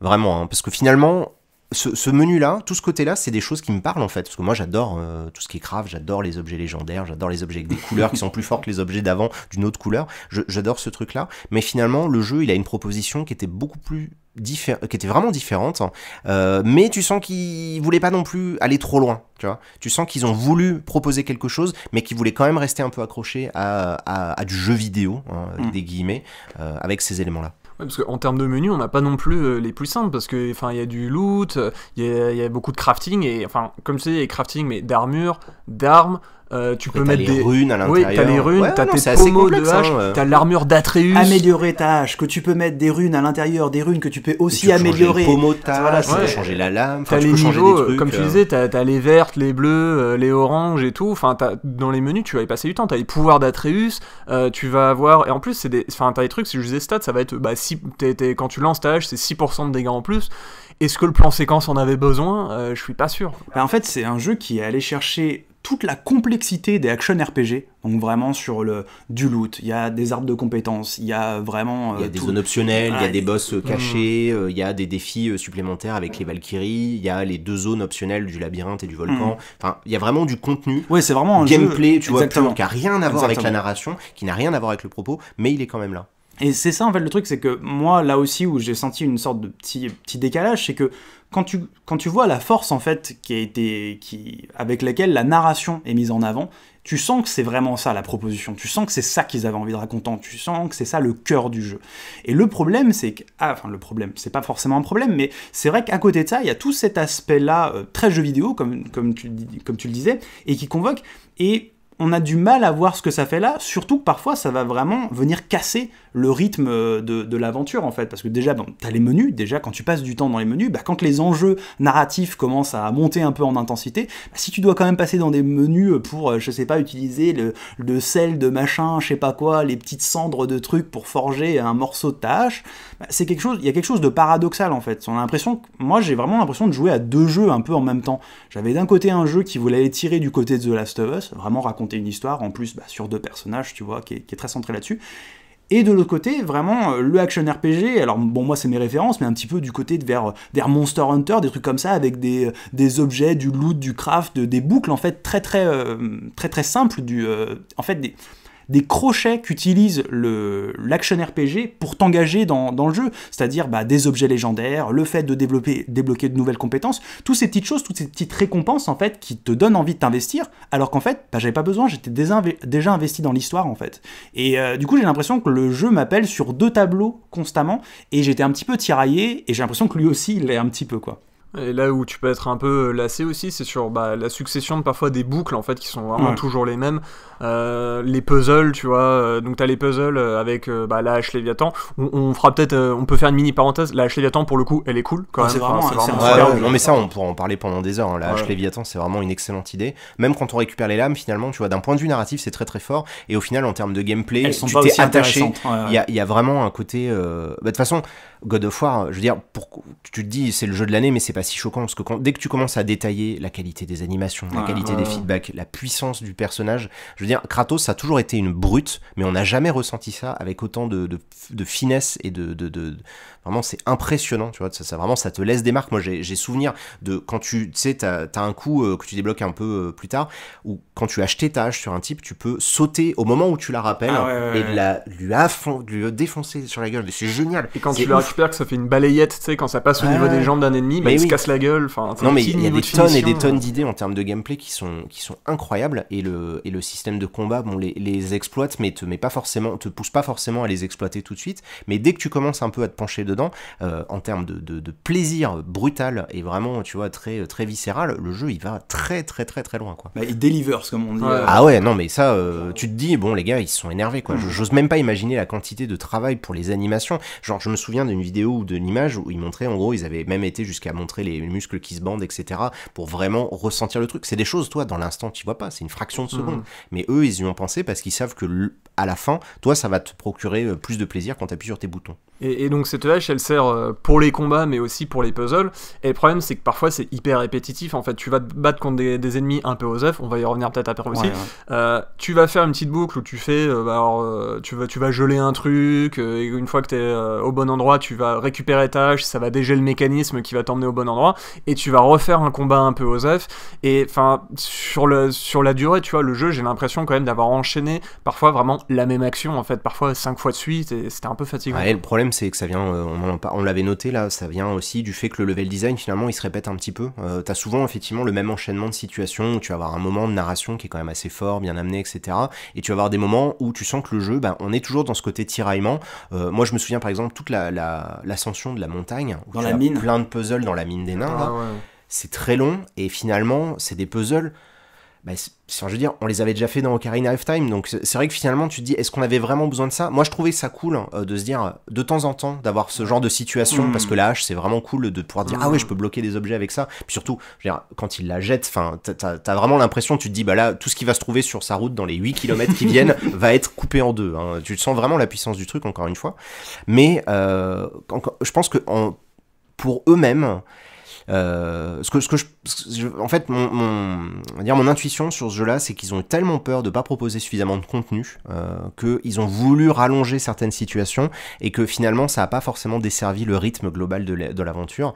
Euh, tu parlais du bestiaire tout à l'heure, on a finalement, allez, une dizaine d'ennemis euh, qu'on va revoir de plein de couleurs différentes. Tu sais, c'est un peu à la Street of Rage. Hein. C'est t'as le mec, puis après il vient, mais il a les cheveux bleus, puis après il a la, la tunique verte. Mais finalement, c'est les mêmes gars. Les fameux demi-boss là, les, euh, Les trolls. les, Oh, trolls. le fameux troll, troll, ça c'est- c'est horrible. ouais. Je- mais je pense que là, même, on peut, on peut adorer God of War. Je pense que c'est difficile, mal- malgré tout, de nier. Je pense que tout le monde, ça, l'a l'a ressenti. C'est vrai que bah, toi, t'as un moment qui est, voilà, quand tu. le- Ah oui, non, mais il y a un moment, mais j'étais tellement déçu. C'est, bah, tu disais tout à l'heure pour euh, sauver Atreus, en fait, il va il faut récupérer le cœur euh, d'un gardien. Et le truc, enfin, c'est genre, gardien, tu, tu vas dans les enfers, il y a un gardien qui regarde, en fait, je crois, c'est pour vérifier si les gens sont bien des, des âmes mortes ou je sais pas trop, un truc comme ça. Il surveille un peu les, les gens qui, qui passent euh, de, de, de la vie au trépas, n'est-ce pas et, euh, et tu t'attends du coup bah, à un boss, tu vois, à un vrai truc original, et c'est un putain de reskin, quoi. Ouais, c'est fa- c'est vrai que c'est un peu dommage parce que finalement, ces, ces ennemis-là, ils sont intéressants parce qu'ils servent beaucoup le gameplay. Euh, T'en as un très très tôt hein, dans le jeu, Ouais, euh, dans, ouais. dans le prologue, Vraiment t'en as un juste avant First d'affronter Balder,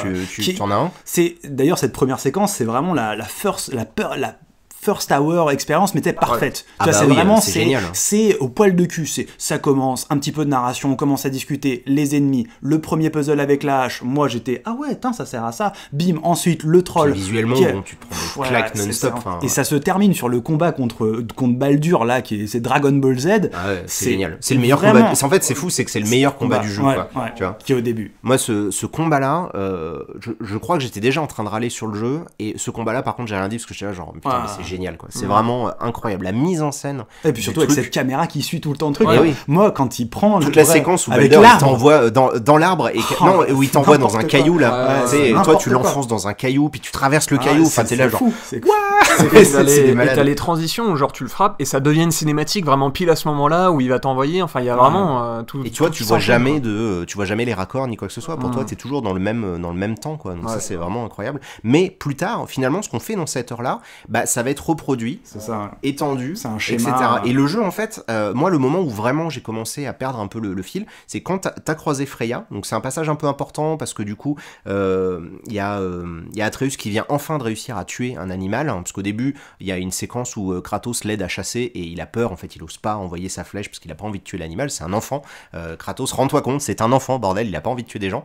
Et il, quand même, il réussit à tuer un sanglier. Le problème, c'est que c'est un sanglier d'une Sacré, euh. de sacré, de je sais pas quoi, de Freya là. le présente comme un ami, je crois. Ouais, Euh, ou d'un ami, enfin voilà, bon, en gros, il aurait pas vraiment dû le tuer, parce qu'en plus, ils avaient pas vraiment raison de le tuer en réalité. Mm. hein. Je veux dire, c'est pas comme s'ils mangeaient, hein, donc euh, c'est- non, mais ils avaient pas vraiment de raison, c'était un peu gratuit, et donc forcément, c'est ce qui amène à la rencontre. Et après ce passage-là avec Freya, tu te retrouves dans l'espèce de grand hub qui est l'énorme lac central, et là, le jeu, en fait, c'est là où pour moi, je me suis dit, ah, ok, en fait, c'est plus du tout un truc linéaire, Ouais, d'un ouais. coup, ça devient, alors. Je mets des grosses guillemets, un Zelda-like, c'est-à-dire qu'on a une zone centrale, on a des directions qui nous amènent à différents ça, hein, donjons, c'est- et t'as chaque donjon, t'as les donjons optionnels, t'as les donjons pas optionnels, et, et finalement, d'un coup, le fait que ça redevienne aussi violemment un action RPG, pour moi, ça m'a un peu cassé justement l'immersion dans la narration, parce que en fait, je pense que c'est incroyable, mais euh, parce qu'on a beaucoup râlé hein, pendant des années sur les jeux, euh, tu vois, linéaires, etc. Mais en fait, lui, il aurait été super Ouais. s'il avait été linéaire du début à la fin. Parce qu'en plus, moi, des combats comme Baldur, je me suis dit, si ça, on a ça au bout d'une heure, c'est quoi les combats Ouais, dans ouais, deux heures c'est quoi le combat de boss de la fin du jeu Et finalement, bah, c'est un peu anti c'est un peu un anti-climax parce que finalement le, le combat final contre Baldur, il est pas aussi intéressant. Le personnage de Baldur en lui-même est pas vraiment développé euh, parce que finalement c'est un peu un faire valoir. Il est un peu dangereux parce qu'il est immortel et tout le bordel, mais le vrai cœur du jeu, ça reste la relation entre Atreus et Kratos, donc tous les autres personnages gravitent un peu autour de cette situation-là. Et, euh, et je me suis même souvenu, quand on a fait la préparation de l'émission, qu'il y avait deux autres types à un moment que tu combats, Mmh, Ouais. dont j'ai oublié le nom. Il y en a un qui a une épée et l'autre... de, de Alors, Thor, c'est- ouais. alors, c'est les enfants de Thor et donc ce qui fait donc de les neveux de Baldur. Ouais, voilà. bon, bref. C'est vraiment là. Tu vois, c'est- ça me fait penser un peu tu sais, les Ah, familles et t'as ta gueule à la de, récré, de, de, de redneck aux, États-Unis. Ouais, je suis avec mes potes, tu vas voir, ça va moins rigoler quand ils vont tomber tous les deux dessus. Et en fait, ces deux gars-là, bah, en, Ah, en plus, le pire, c'est que le combat, c'est pendant une grosse discussion qui est relativement importante avec Atreus, et tu les défonces, et le jeu lui-même en a rien à foutre, quoi. Tu vois, tu sens que le jeu lui-même s'en fout un peu de ce passage-là.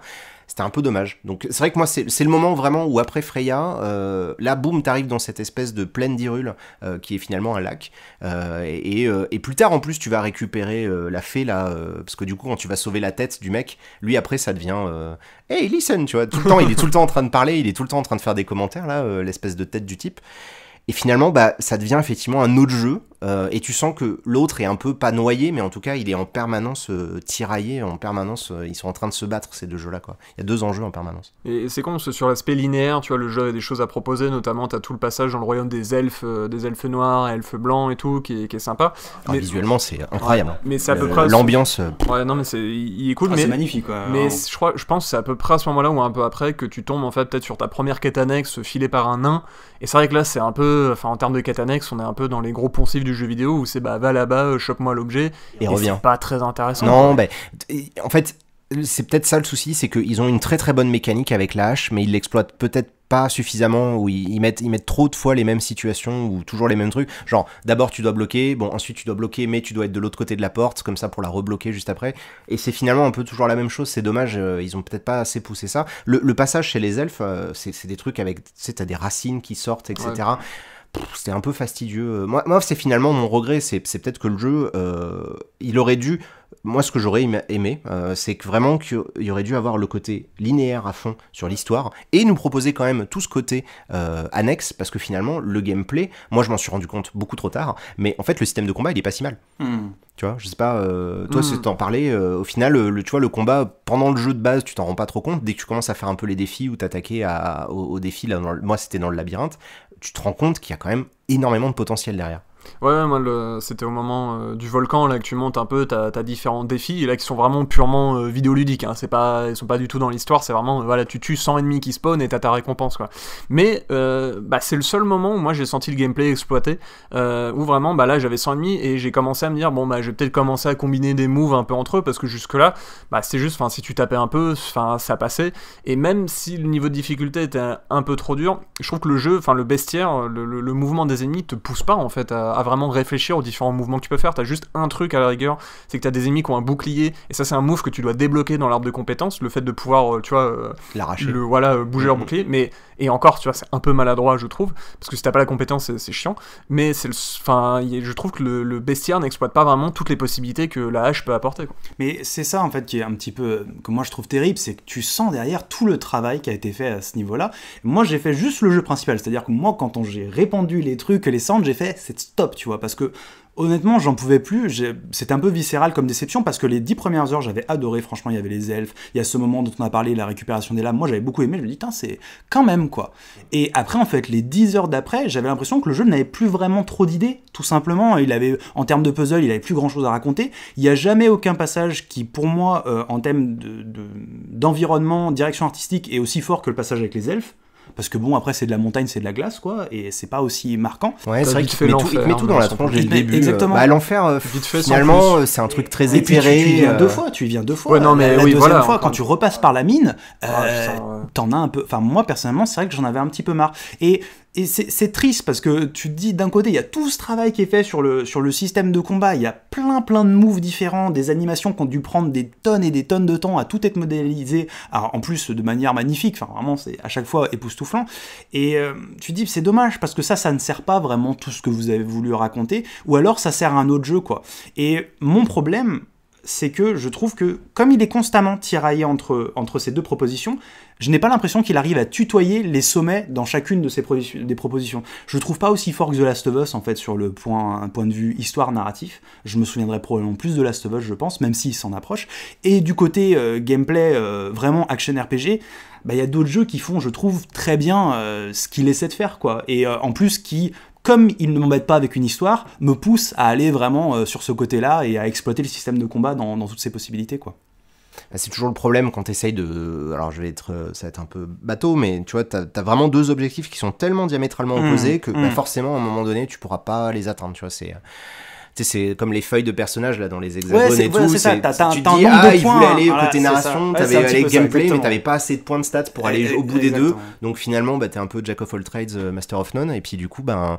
Mais c'est dommage parce que finalement, la proposition qui était la première euh, de l'histoire, euh, et ben en fait, moi, ça m'a ça m'a vachement accroché tout de suite. Euh, vraiment de me dire, ils auraient dû conserver ça peut-être jusqu'au bout, mais le fait est que bon bah le jeu il a cartonné de ouf Oui, et c'est le ça, jeu de l'année donc c'est- nous qui râlons dessus il faut mais reconnaître, ouais. le je pense justement que ça va euh, par contre euh, il va être vraiment être extrêmement intéressant de suivre quelle va être l'évolution de la série Mmh, à mmh. partir de cet épisode là qu'est-ce qu'ils vont en retenir? Qu'est-ce qu'ils vont noter eux? Qu'est-ce qu'ils ont déjà noté? Parce qu'ils ont déjà dû euh, faire euh, je pense des, des post-mortem en interne pour savoir un peu ce qu'il en est. On va avoir euh, normalement une, une grosse conférence à la GDC euh, donc en début d'année prochaine Ouais, en vrai, début 2019 de Cory Barlog qui va parler justement du design du jeu. Donc je pense que ça va être très intéressant à suivre. J'espère qu'il y aura d'autres confs de, de gens de Monica qui seront acceptés et à mon avis enfin moi je sais que je vais la suivre euh, voilà je vais, je vais regarder limite en direct si c'est possible pour, euh, pour voir un peu ce qu'il en est quoi Oui, clairement, il y, a, il y a plein de choses intéressantes euh, et on verra en fait si cette direction va plutôt suivre une direction euh, narration, une direction Ouais. gameplay ou encore euh, les deux. Est-ce qu'ils vont être soit est-ce qu'ils ont plus de liberté maintenant que bah ils ont quand même maintenant ils pèsent, tu vois. Enfin God of War comme tu disais, jeu de l'année aussi auprès des joueurs. Et oui, et puis c'est très très bien vendu aussi, Ouais. hein, faut quand même le dire. ouais, est-ce que du coup on va voir un Cory qui dit bon bah maintenant j'ai plus de liberté Est-ce que comme vous, vous- on en parlait au début tu vois de, de toute cette pression qui, qui pesait Mhm. sur le truc comme ça c'est un petit peu parti Est-ce que Cory va pouvoir se permettre euh, éventuellement de plus se focaliser sur la narration ou au contraire est-ce que bah, ce succès va vraiment euh, mettre une nouvelle pression en fait qui sera de faire la même chose? Hmm. Ouais, ben bon, ce qui est sûr, c'est que maintenant, euh, Sony va lui lâcher un peu la grappe sur certains aspects. C'est-à-dire que, mine de rien, il a quand même gagné des points de confiance, tu vois, il a sur sa prouvé barre que de sa vision, il a sa barre de il a prouvé que sa vision, elle, a- Parce elle qu'elle avait marche. sa place. Quoi. Ouais. Elle, elle a sa place, et en plus de ça, ben, moi, ça me choque pas, en fait, tu vois, que ça soit le jeu de l'année. Parce que même si c'est pas le mien, euh, c'est quand même un jeu qui est vraiment euh, symptomatique de ce qui se passe dans l'industrie du AAA aujourd'hui. C'est une industrie qui, et eux l'ont fait peut-être même plus que les autres, qui est capable de porter un regard sur tout ce qu'ils ont fait ces dernières années, de se rendre compte que, bah oui, effectivement, on réfléchit aujourd'hui dans le jeu vidéo, on s'est peut-être dit, ah peut-être qu'on était un peu débile avant euh, sur la représentation des femmes, sur les machins, sur les bidules, la violence et tout. Est-ce qu'on peut pas faire autre chose? Est-ce qu'on peut pas réfléchir et bah, le jeu y arrive en fait. Le jeu vraiment est la démonstration qu'ils arrivent à se remettre en question et à quand même conserver euh, cette excellence qu'ils ont dans le côté bestial hein, du personnage. Parce que c'est vrai que te débrouiller avec un personnage comme Kratos, tu m'aurais dit il y a 10 ans, tu verras Kratos plus tard, euh, il va s'occuper de ses enfants et ça sera un type super intéressant et euh, franchement père de l'année. T'es là genre mais non mais jamais. Enfin. Ça rappelle le pitch où il y a The Rock et Babysitter, je crois, un truc comme ça. Ouais non mais voilà ça, ça donne ce genre de, de, de phrases un peu étranges et tu vois aujourd'hui ben finalement tu dis bah ouais en fait Kratos euh, c'est possible hein. ils ont réussi à créer en fait un personnage à partir d'une vieille coquille qui, euh, qui, qui était un poids pour eux et ils ont non seulement réussi à créer ce nouveau personnage là mais en plus ils te font accepter le fait que bon bah voilà avant c'était comme ça on l'accepte on vit avec et on va maintenant aller dans une nouvelle direction. Alors, est-ce que Atreus va prendre un poids plus important? Est-ce qu'on va jouer Atreus? Hmm. Est-ce que Atreus va tuer Kratos? Est-ce que Thor va euh, tuer machin? Est-ce que Kratos ça dans Smash Bros? Enfin, tu vois, je veux dire, il y a des vraies questions qui se posent désormais pour la suite, quoi. Non, mais et, tout à l'heure, je disais, je parlais de ce jeu finalement qui est un peu entre deux propositions, mais ça en fait finalement un jeu qui est extrêmement complet en fait. C'est-à-dire que dans, dans tous les critères, si tu prends tous les critères, si tu prends graphisme, il pète la tronche. Ah bah si tu prends combat, il est présent. Histoire, il est présent. Le contenu, il est présent. Le doublage. voilà, en plus, tu sens tout le talent, l'argent qui est. Ben l'argent qui est. tu sens l'argent. L'argent, il coche les cases, hein, ça c'est bon. Moi, vraiment, quand tu vois les, les animations, en fait, le build-up, il y a vraiment un soin euh, qui est, qui est apporté à tout ça. Et tu dis, en fait, ouais, c'est normal que ce soit le jeu de l'année. Moi, c'est pour ça qu'à l'épisode précédent, je vous dis, ce sera God of War, et j'en avais aucun doute, parce que il a toutes les armes en fait pour convaincre à peu près n'importe qui. Et euh, aujourd'hui, dans les exigences, on va dire qu'on a autour du jeu vidéo AAA mainstream comme ça, c'est un jeu qui, répond présent partout et qui en plus bah, dépasse les attentes euh, sur certains niveaux.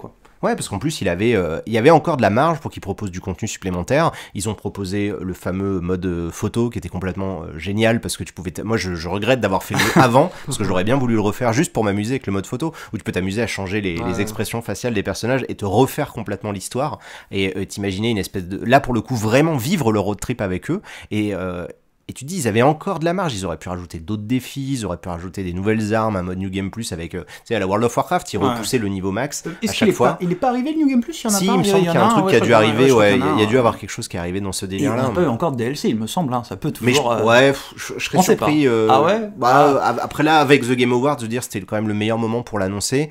Euh, on sait déjà que Sony est en train de revoir quand même globalement sa façon de communiquer parce qu'ils sont présents à l'E3 2019. Ouais, c'est vrai, c'est vrai, j'ai du je pense que ils ont dû euh, je pense qu'ils ont été tous très fatigués euh, tu vois la réaction les fameuses larmes là de Cory euh, mm. quand il lit les notes métacritiques c'est vraiment genre bon allez maintenant on se calme on se prend un peu de temps on souffle et on repart. Donc ils sont probablement en train de faire euh, du brainstorming, de la pré-production pour la suite. Ils, sont, ils ont probablement déjà des tonnes de choses qui sont mises en place.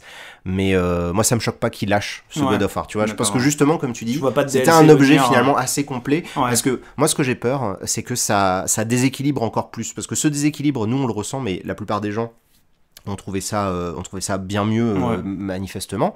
Euh, mais j'ai peur que s'ils donnaient un côté très narratif, les gens râleraient parce qu'ils voudraient autre chose. Et s'ils donnaient un côté trop gameplay, tu vois, dans le DLC, ils se diraient bah oui, mais moi en fait, je voulais un peu plus d'histoire. Et ils auraient dû faire un condensé et ça aurait demandé un travail, mais j'ose même pas réussir à refaire un ensemble à peu près cohérent, un mini God of War, tu vois, de quelques heures, ça aurait été, ça aurait été vraiment très compliqué pour eux, quoi. Oui, pourtant, moi, c'est vraiment ce qui lui manque, tu vois. C'est un God of War qui dure 10-15 heures. C'est vrai qu'être un peu plus concis, peut-être. Euh, euh, laisser un petit peu, un peu moins de complexité dans les mécaniques euh, d'action RPG, s'épurer un tout petit peu, je pense, je pense que, bah, à mon avis, moi, je, voilà, je veux dire, je mets le doigt dans le vent, mais je pense que c'est comme ça qu'ils vont aller. Parce que je pense que même eux ont dû ressentir qu'il y avait quelques lourdeurs, quelques ralentissements dans le rythme du jeu à cause de ces menus. Donc, ils vont probablement simplifier certaines choses. Est-ce qu'ils vont pas proposer des choses simples qui permettent d'éviter de, d'avoir trop de menus c'est-à-dire de, retrouver des nouvelles armes, d'avoir des nouveaux gameplays, de changer des pouvoirs, des bracelets, j'en sais rien, enfin des choses qui permettent de t'intégrer au gameplay et pas dans des menus.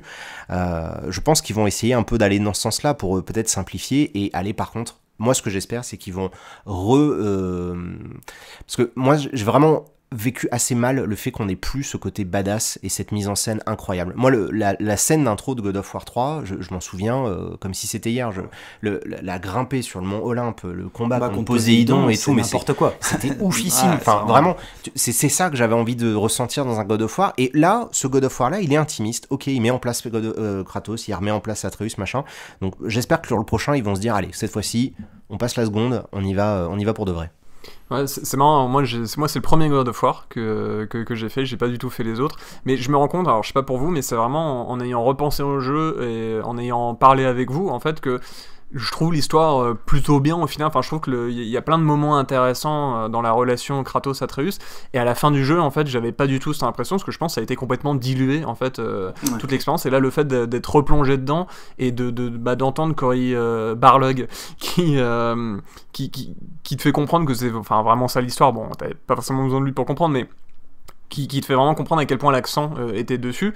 Et le fait de revoir toutes les scènes du coup pour, pour le coup la suite à la scène les unes à la suite des autres pardon sans avoir à faire de puzzle de rebattre un troll pour la quatrième fois entre les deux bah j'ai trouvé ça vachement plus intéressant et réussi en fait. Bah, c'est pour ça pour ça que finalement c'est ce que dit Exerve c'est la suite on les attend un peu plus là-dessus parce que c'est ce qui en reste c'est ce qu'il en reste de ce jeu là c'est ces moments narratifs c'est cette histoire c'est cette relation entre Kratos et Atreus. Donc c'est pour ça que si on espère quelque chose du 2, c'est peut-être qu'il se recentre un peu plus là-dessus, quoi, effectivement.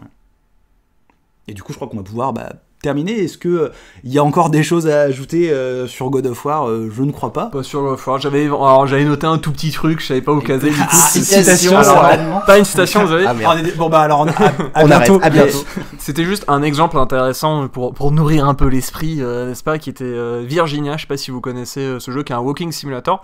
Et lui, en fait, il a une autre intention de narration dans, dans sa mise en scène, où lui, il fait des cuts dans le gameplay. En fait, il y a des moments où tu marches et le jeu cut était genre 10 mètres plus loin où il y a un moment tu descends un escalier, il cut était un étage plus bas. Et après dans tout le dans tout le jeu, en fait, il va te téléporter un peu de scène en scène et tu vas vivre un petit peu ça de façon presque onirique en fait. Le jeu en soi, enfin moi j'ai pas adoré, mais euh, en termes de, mise en scène, c'est un truc vraiment que j'ai retenu de ce jeu. Et euh, c'est marrant de voir qu'on peut en fait euh, jouer avec le montage de façon de deux façons complètement différentes. C'est complètement opposé effectivement. Ah bah de toute façon le jeu vidéo ça reste un média dans lequel tu vas pouvoir en fait. C'est pour ça que je pense qu'il y, a toujours eu cette confusion pendant des années sur l'omniprésence du cinéma dans le jeu vidéo, c'est que en fait, on peut réutiliser tous les codes du cinéma et il faut également y intégrer euh, les codes du jeu vidéo. Et là, là-dessus, God of on en a parlé tout à l'heure quand tu dois euh, contrôler euh, Atreus mais qui t'écoute pas, bah, ils ont réussi en fait à vraiment, à vraiment lier les deux. Et bah là, est-ce que le prochain va conserver le côté plan séquence? À mon avis, non, parce que je pense qu'il n'y en aurait plus besoin. Tu vois, je pense qu'on sera peut-être moins sur ce côté construction. Peut-être qu'il y aura une relation un peu différente, parce que justement, ce qui serait intéressant, et peut-être je me trompe, hein, on verra, mais c'est que justement, en changeant le setup de caméra, en fait, ils vont pouvoir tout de suite installer une autre relation pour te dire, on est passé à autre chose, on a passé une étape entre Kratos et Atreus. Maintenant, on est dans une autre relation entre les deux. Ils fonctionnent pas de la même manière, ils sont peut-être plus complémentaires. Se, peut-être que Atreus aura grandi, alors du coup, il est peut-être un peu plus euh, je sais pas, euh, un peu plus autonome, donc t'as plus besoin vraiment de le contrôler, il fait sa vie. Enfin, moi je suis quasi persuadé, là, euh, maintenant qu'on en parle, qu'ils vont justement changer un peu les angles de caméra pour, euh, pour te signifier tout de suite, pouf, on est passé à autre chose, c'est God of War 2. Non, mais bah voilà, je pense qu'on est tous les trois très curieux et finalement, bah, c'est réussi. Ça veut dire que ce, ce, reboot, il est vraiment réussi et qu'ils vont pouvoir retravailler maintenant cette licence et lui donner encore de la place bah, sur une PlayStation 5 euh, qui, de toute façon, à un moment arrivera ou un autre. Hein, il n'y a aucune raison qu'ils n'en fassent pas encore et il va prendre de la place. Et de toute façon, Cory Barlog l'a expliqué. En fait, lui, il a toute l'histoire déjà dans la tête et il a pris une petite fenêtre, c'est ce premier God of War, et les autres jeux seront d'autres fenêtres sur cette espèce d'histoire quitte même à pouvoir parler bah, du moment où justement Kratos part de Grèce pour arriver jusqu'au moment euh, dans le royaume nordique. Euh, il, s'est probablement passé des choses comme ça. D'ailleurs, petite, je crois que j'ai même lu en fait qui disait que c'est marrant parce que Kratos il a fait des choses et vous savez Kratos apparaît dans Shovel Knight et euh, en fait, il dit, euh, il dit, bah c'est canon parce qu'en fait, on peut imaginer que Kratos ait fait des choses comme ça euh, pendant cette période-là. Et du coup, bah voilà, Shovel Knight est canon dans, dans l'histoire de, de, de, God of War. Mais voilà, disons qu'en fait, il va peut-être pouvoir raconter ce moment-là par un flashback. c'est quand même facile à faire. Et donc, tout est prévu. Il a dit qu'il en a pour 5 jeux, je sais pas combien de temps ça durera, combien de temps Sony lui donnera dessous. Et un truc, tu vois, je suis en train de percuter là pendant qu'on en parle, c'est que finalement, comparé à d'autres licences des vieilles années, tu vois, qui ont essayé de se transférer, euh, ça fait partie des rares qui ont aussi bien réussi. Ah oui, Tomb Raider a ah, fait sa transformation, mais c'est pas hein. autant. Euh, on va sortir les trucs à la bon Duke Nukem, tout le monde va rigoler. Doom, ils, ont, ils ont réussi, mais ça leur a pris quand même plusieurs euh, reboots et annulations avant de s'en sortir. Ça a été assez compliqué. Fallout, lol. ils y arrivent toujours pas. Et il y a plein d'autres séries comme ça qui finalement viennent de l'ancien temps, tu vois, d'une ancienne époque hein, du jeu vidéo. Et eux, ils ont réussi avec peut-être celle qu'on attendait le moins. Ouais, vraiment. Qui était vraiment la plus. Ouais, je veux dire, quand dans les années 90 on disait ah, les jeux vidéo ça rend stupide, c'est décérébré machin, c'était God of War. Je veux dire, c'était euh, c'était l'arcade et t'avais God of War, il tapait comme un débile euh, et t'avais les, les QTE, euh, c'était juste pour arracher la tête d'un mec, puis après une fois que t'avais arraché sa tête, t'enfonçais son poing dans ses entrailles et puis t'allais chercher un truc, tu vois. C'était non pas mais de cette scène, non mais je suis sûr, je suis sûr, je me souviens des points d'Hercule dans euh, God Ah, of War 3. magnifique. C'était Magnifique d'une moment. violence. Magnifique moment. Et donc, je m'attendais pas à ce que God of War arrive à faire cette transformation-là, et ils ont réussi. Donc, euh, même si à titre personnel, euh, j'ai pas pris mon pied autant que j'aurais aimé, euh, bravo bra- malgré tout, parce qu'ils ont réussi un truc qui était quand même euh, méga difficile. Ils ont transformé l'essai. Très bien, bah écoutez, je crois qu'on va terminer là-dessus. Euh, merci messieurs. Euh, encore une fois, c'était très cool. Je crois qu'on a dépassé l'heure hein, pour ce. un, petit pour peu, ce- ouais, un petit peu plus. Mais bon, ça va, on n'a pas trop éclaté le format encore. On a encore quelques épisodes de marche pour vous faire des épisodes de 3 heures. Exactement. Du coup, bah, on se retrouve euh, probablement bah, dans deux semaines pour le dernier épisode de l'année 2018. Euh, Le, Déjà. le troisième pilote. le troisième pilote. le troisième pilote, déjà, exactement. Euh, mettez les petites étoiles, on est dispo maintenant sur toutes les plateformes. ouais, Euh, ça je y est, normalement, là, non, bah. Peut-être pas euh, 10 heures, peut-être peut-être 10 heures pour ce deuxième épisode. on Normalement, verra. ils sont censés récupérer le feed de Apple. Donc euh, voilà. Au moment où on sort, euh, il y a des chances qu'il y ait un petit décalage avec iTunes, mais maintenant on est validé chez eux, donc on va apparaître. Euh, vraiment, ouais, n'hésitez pas. Ça paraît tout bête, mais euh, continuez de. Si vous avez sur une plateforme la possibilité de noter ou de Ouais, vous abonner, exactement. c'est faites-le. très important. Parce ouais. que déjà, nous, bah, nous, ça nous permet d'avoir des retours euh, assez euh, quali, et puis ça nous permet de mettre en avant le contenu. Donc si ça vous plaît, faites-le tout simplement. Et si ça vous plaît pas, bah, expliquez-nous pourquoi. Euh, nous, on essaiera de voir ce qu'on peut éventuellement modifier. On fera partir Max un peu plus loin avec son microphone, on en achètera un nouveau, on fera des trucs, mais Parce on va, vous on va voyez pas, je me suis un peu éloigné euh, parce que mon micro captait un peu trop les autres, du coup, je, je suis à un mètre des autres là. Donc voilà, on se retrouve dans deux semaines pour un nouvel épisode de fin du game. Ciao Salut. Salut.